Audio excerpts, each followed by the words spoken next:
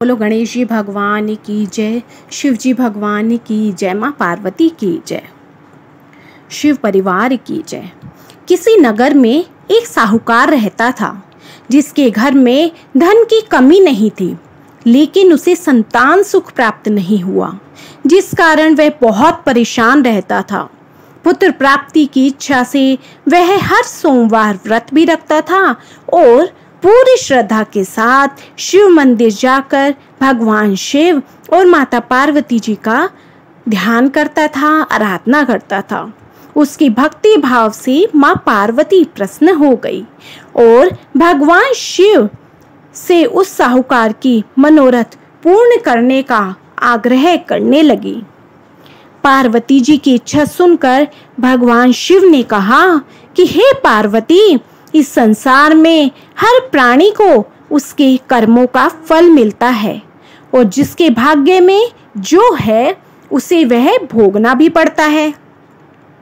लेकिन पार्वती जी ने साहूकार की भक्ति का मान रखने के लिए उसकी मनोकामना पूर्ण करने के लिए कहा। माता पार्वती के आग्रह पर शिवजी ने साहूकार को पुत्र प्राप्ति का वरदान दे दिया।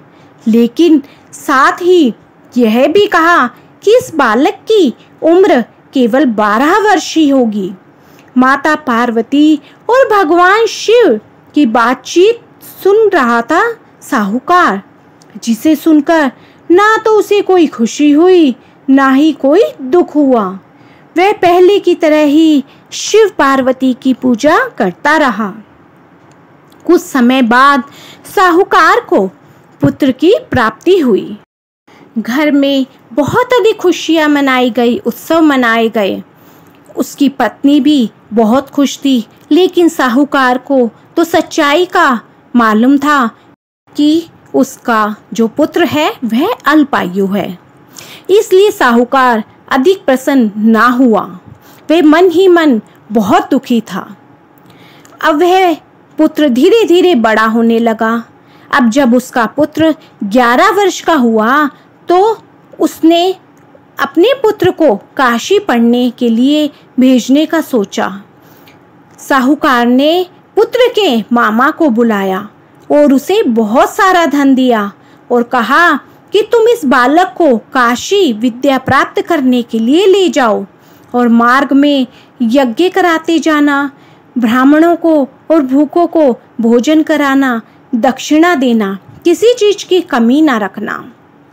दोनों मामा भांजे अब वहाँ से काशी के लिए निकल गए। रास्ते में वो यज्ञ कराते और ब्राह्मणों को दान दक्षिणा देते हुए काशी की तरफ़ चल पड़े। रास्ते में एक नगर पड़ा, जहाँ नगर के राजा की कन्या का विवाह था। लेकिन जिस राजकुमार से उसका विवाह होने वाला था, वह एक आँख से काना था। जिसकी जानकारी लड़की और उसके घर वालों को नहीं थी। राजकुमार के पिता ने अपने पुत्र के काना होने की बात को छुपाने के लिए एक चाल चली। साहूकार के पुत्र को देखकर उसने सोचा कि क्यों ना इस लड़के को ही दुल्हा बनाकर राजकुमारी से विवाह करा दिया जाए। विवाह के बाद इसको धन देकर विदा कर दूँगा और राजकुमारी को अपने नगर ले जाऊँगा। उसने लड़के को दुल्हे के वस्त्र पहनाकर राजकुमारी से उसका विवाह करा दिया। लेकिन साहूकार का पुत्र तो ईमानदार था। उसने मौका पाकर राजकुमारी की चुनरी पर लिख दिया कि तुम्हारा विवाह तो मेरे साथ हुआ है, लेकिन जिस राजकुमार के साथ तुम्हें बीजा जाएगा, वह एक आँख से काना है। मैं काशी पढ़ने जा रहा हूँ। राजकुमारी ने जब चुनरी पर अपनी यह बात लिखी देखी तो उसने अपने माता पिता को बताई। राजा ने अपनी पुत्री को विदा करने से इनकार कर दिया। दूसरी ओर साहूकार का लड़का और उसका मामा काशी पहुँचे। वहाँ जाकर उन्होंने यज्ञ प्रारंभ कर दिया। जिस दिन लड़के की आयु 12 साल की हुई, उस दिन यज्ञ रखा गया। ब्राह्मणों को भोजन कराया गया। दीन दुखियों को भोजन कराया गया, दक्षिणा दी गई। लड़के ने अब अपने मापा से कहा कि, मामा, मुझे अपनी तबीयत कुछ ठीक नहीं लग रही है। मामा ने कहा, ठीक है, तुम अंदर जाकर सो जाओ। शिवजी के वरदान अनुसार कुछ ही देर में उस बालक के प्राण निकल गए। मृत भांजे को देख उसके मामा ने विलाप शुरू कर दिया। संयोगवश उसी समय शिवजी और माता पार्वती उधर से जा रहे थे। पार्वती ने भगवान से कहा, स्वामी, मुझे इसके रोने के स्वर सहन नहीं हो रहे हैं। आप इस व्यक्ति के कष्ट को दूर करिए। जब शिवजी मृत बालक के समीप गए तो वह बोले कि यह तो उसी साहूकार का पुत्र है, जिसे मैंने बारह वर्ष की आयु का ही वरदान दिया था।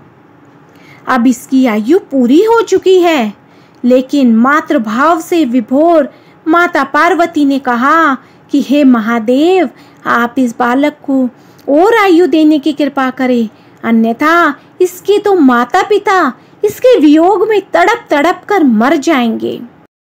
माता पार्वती के आग्रह पर भगवान शिव ने उस लड़के को जीवित होने का वरदान दे दिया। उसे प्राण दान दे दिए।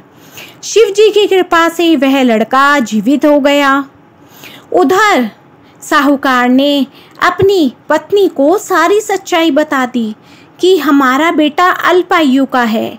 सिर्फ़ बारह वर्ष तक की ही उसकी आयु है। इसलिए मैंने उसको, उसके मामा के साथ पढ़ने के लिए भेज दिया, क्योंकि हम तो अपने बेटे को यहाँ मरते हुए नहीं देख सकते थे। उधर दोनों माता पिता भी अब विलाप करने लगे। शिक्षा समाप्त करके अब लड़का वापस अपने मामा के साथ नगर की ओर चल दिया चलते चलते दोनों उसी नगर में पहुँचे जहाँ उसका विवाह हुआ था। उस नगर में उन्होंने यज्ञ का आयोजन किया।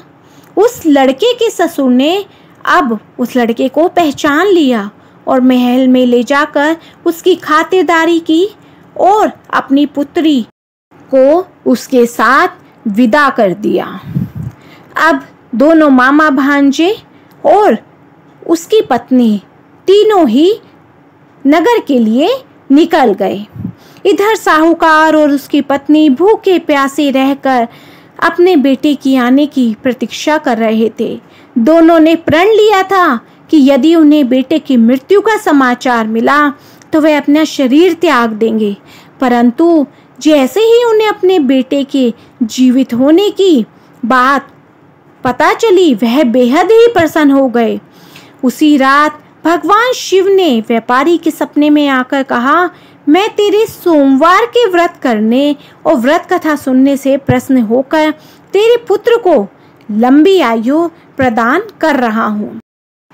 अब उस लड़के के माता पिता ये खुशी का ठिकाना ना रहा, क्योंकि अब उसके घर में पुत्र और पुत्र वधु दोनों हो गए थे और पुत्र को भी लंबी आयु प्राप्त हो गई थी। तो इस तरह जो भी कोई सावन सोमवार का व्रत सच्चे मन से करता है, उसकी सभी मनोकामनाएँ पूर्ण होती है। तो बोलो शिव जी, भगवान की जय, माँ पार्वती की जय। तो फ्रेंड्स, मैं, आपको मेरी ये वीडियो पसंद आई हो तो मेरी वीडियो को ज़्यादा से ज़्यादा लाइक, शेयर एंड सब्सक्राइब कीजिए। बोलो हर हर महादेव, जय शिव शंकर।